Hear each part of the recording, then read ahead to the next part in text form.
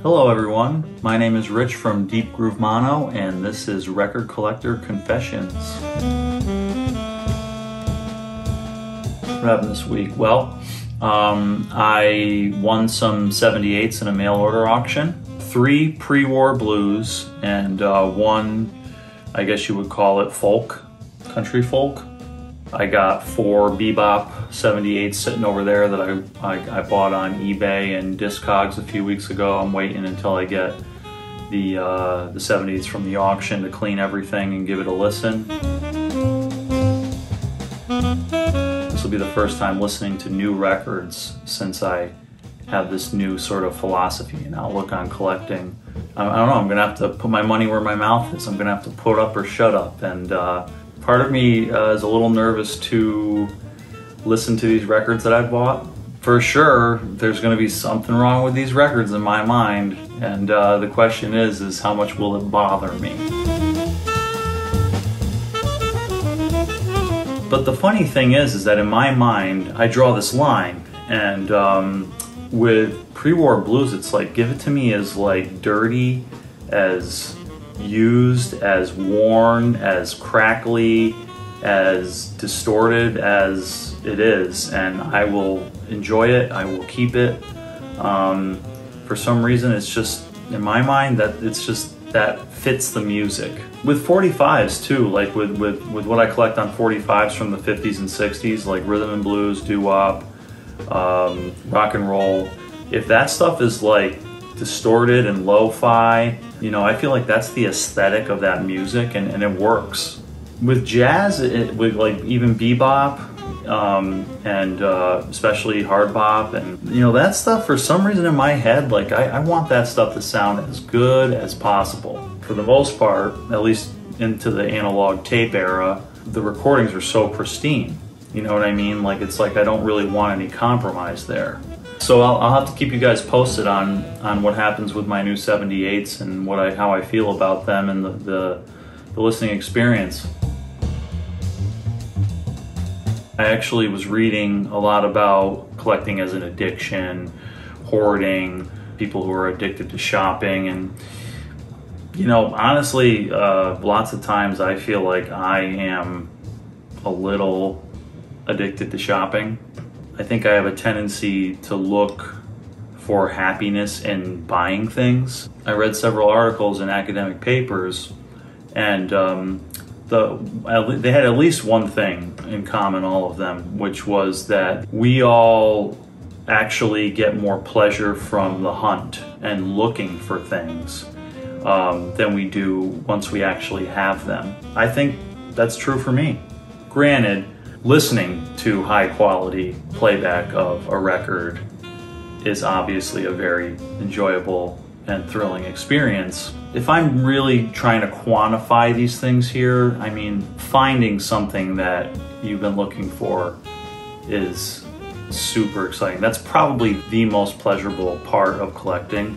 Probably, if I had to rank them, the second most enjoyable part of collecting is the actual playback and listening to a record that sounds awesome. Third is probably just the process of looking that is very enjoyable. Last place is probably just the, simply the act of having it and just knowing it's on your shelf or something like that.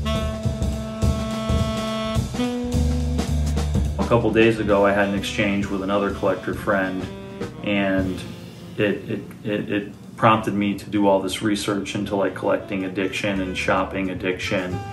And that exchange with that collector kind of left me thinking about should I just really be collecting CDs? Like maybe that's like a good uh, that would be a good route for me, you know. Uh, very low risk in terms of like emotional disappointment. Another thing that I deal with is the idea that so many other collectors are not as conflicted with collecting or they enjoy it a lot more than me. I don't really know how true that is, but you know, the way that our society is, not even just on the internet, but even like in person socially, you know, we all are just trying to project the best versions of ourselves most of the time usually and we don't want to let people down and in Alan Zweig's documentary uh, not not vinyl, but the second one he did, I Curmudgeon. They talk about this. Uh, the people that he interviews in that documentary, they talk about how socially there's this like unwritten agreement that everyone is going to sort of play the game socially of like keeping it positive and not being too negative or disagreeable or anything like that. My, my whole adult life, I feel like I've been a very honest person. Um, it's gotten me into a lot of trouble. um, socially, you know, in all in all areas of my life. I feel like life has the most meaning when we are very honest and sincere with each other because that leads to real, genuine communication. Without emotional honesty, I feel like we aren't really communicating on as deep of a level as we can.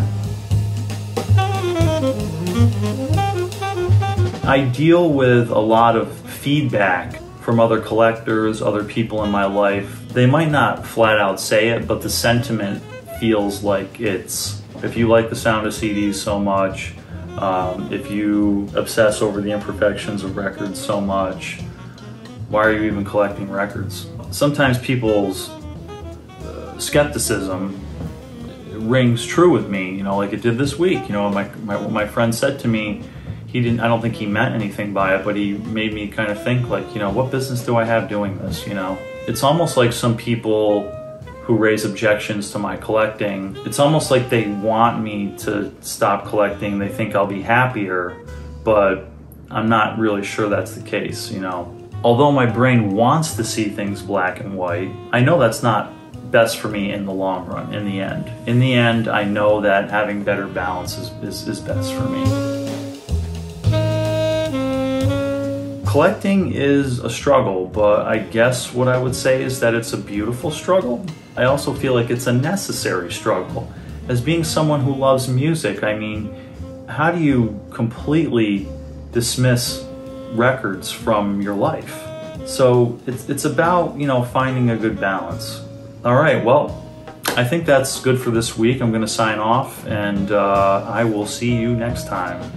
Thanks for watching.